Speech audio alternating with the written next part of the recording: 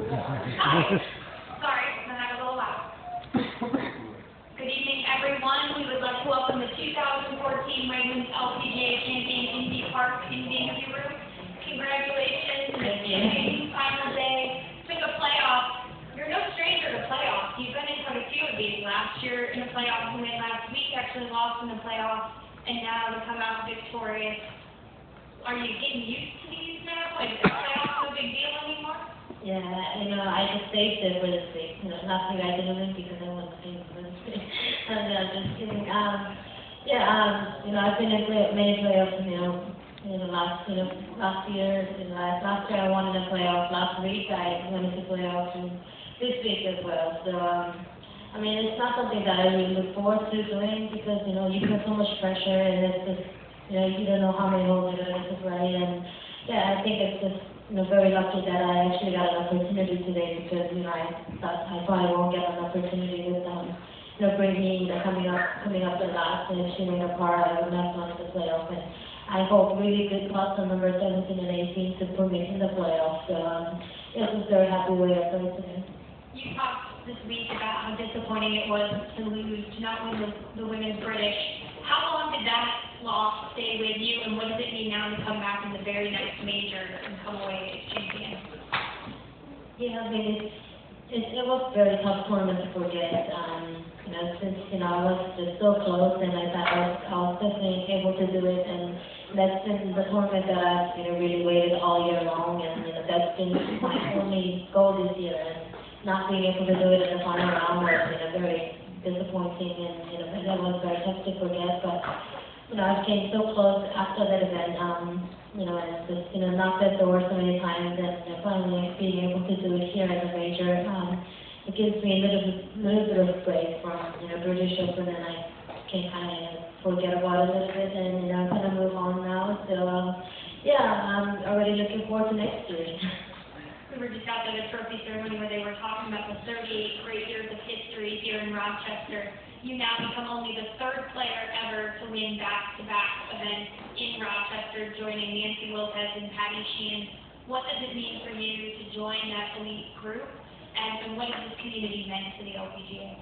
Well, it was always an honor to, you know, put my name off amongst those, you know, Nancy Lopez and, you know, Patty Sheehan, you know, those great athletes, great, great women's golf players, and, you know, you know, it's, it's still been such an honor, and, you know, it's been thirty-eight years in Rochester that we've been playing, and, you know, so many people have so many great memories, I have great memories, and, you know, being able to be a part of the history was, you know, you know, such a special, you know, such a special feeling, and, um, yeah, I almost thought it was gonna happen, it wasn't gonna happen today, and, um, so, but it happened, I don't know, maybe, you know, Rochester and Rochester people have been helping me a lot to, um, you know, make this happen, and, yeah, it's, um, it's good that, you know, we have, you know, this kind of com- community where everybody's, you know, really into golf, and they love golf, and they really love supporting us.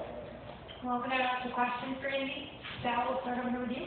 Yeah, Amy, when, when Brittany was in here, I asked her if the golf gods are just kind of mean, and she said absolutely. Now, on the flip side, do you feel like the golf gods were maybe with you today with those putts on seventeen and eighteen in the playoff? Yeah, I mean, you know, you, you know, be, being able to become a winner, there, there has to be some kind of luck on your side. You know, I always felt that when I, whenever I was winning, I felt like I had probably a little bit more luck than everybody else did. Um, I kind of struggled all day today, kind of, and then I dropped really important two putts on number 17 and 18. And, um, yeah, I mean, I, the way I've been putting today, I thought I wasn't going to hold those putts, but it just happened. So I think, know, that's really explaining um, how, you know, you can win. So. And when you saw her, um, after you made your grade up and down at eighteen, did you think, knowing how hard eighteen is, even though she gets the mile, did you think that you had a chance of, of getting in the playoff because that hole was so hard this week? Yeah, I definitely thought that, you know, there is a chance if I made a par because, you know, 18 is a very tough hole and the pin position was quite tough and, you know, with the pressure conditions, you just don't know what's going to happen. So um, I really wanted to make that putt and give myself, you know, some somewhat opportunity. In the last year, oh, you go back here. Amy, to win the last two uh, championships here in Rochester, um, what has this uh, community meant to you over these last few years? So this has been probably one of the, the favorite weeks that we made for me and probably for all the PGA players to come and you know, kind of stay for a week and yeah, it's, you know, this tournament has the history and this tournament, you know, has all the memories with us. So, you know, being able to put my name on that, you know, this trophy for, you know, twice and being able to do it here in Rochester is, you know, such a great honor and, yeah, you know, we'll be missing Rochester. We definitely want to come back here for, you know, another event. Can you just talk about your nerves going back to the, I mean, you've done this over and over, but surely you must still have it cranking inside you even though we don't see it going back to the tee of the first playoff hole. Can you describe that? Yeah, I mean, today overall, I just felt so comfortable since last night and, you know, this morning, you know, all day today, um, just before playoff, it was, I, I just felt like it was just the third round almost, I didn't get any nerves at all today, really, and, um, you know, once Brittany missed that putt, um, par putt, I just, you know, all, all of a sudden I felt the nerves, and when I was going to the tee for the playoff, I think that's when everything really started to come into my mind, because I actually have an opportunity to win this tournament, and it's like all, all different thoughts really came into my mind when I was riding that cart to that tee, and, you know, I just, you know, just try to tell myself that, you know, I just did this last week, and, you know, it's, it's, it's nothing, it's nothing else, or just, it's just another hole, it's just, you know, just trying to do, you know, whatever I, you know, I did, you know, all day today, and, yeah, I think these therapies definitely help. Um, I kind of, you know, it's kind of flashed back, you know, how I played last year here in the playoff, and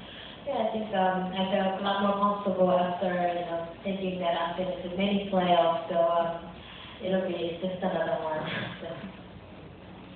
You made last year six wins, and now you've been able to capture two so far this year. And I know everybody was talking about how difficult it was going to be to repeat last year. How are you feeling so far about how you've been able to come back this season and still play some tremendous golf?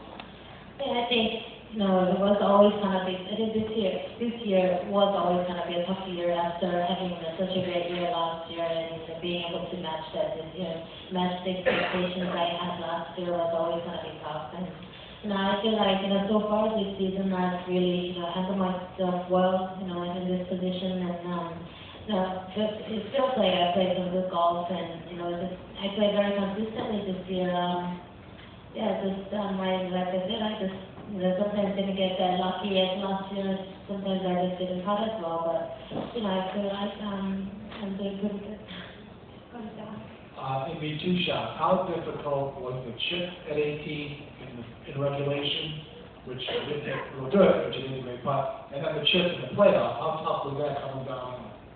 Yeah, I mean, know, I both times, and the first time I had the probably the worst lie, um, it was, you know, grass and ball were all like in rectangle together, I wasn't really into the, into the grass, and, yeah, it was, it was a very tough chip, um, it was going up the slope where I had a bad lie, it was, you know, very tough, shot, um, I just, you know, told myself maybe, like, give, you know, some kind of opportunity at a par, and, you know, we'll, you know, deal with the putter, and not thinking so much about the chip, and, um, in the playoff hole, it was actually you know, not that bad of a lie, and it was just a downhill, downhill green, so you just have to really be careful. And um, you know, I, I felt like my chipping was, you know, pretty good this week, so I felt, you know, quite confident over that chip. Any other questions for Amy? Well, Amy, thank you very much. Congratulations. And now we have a fireworks show. Good.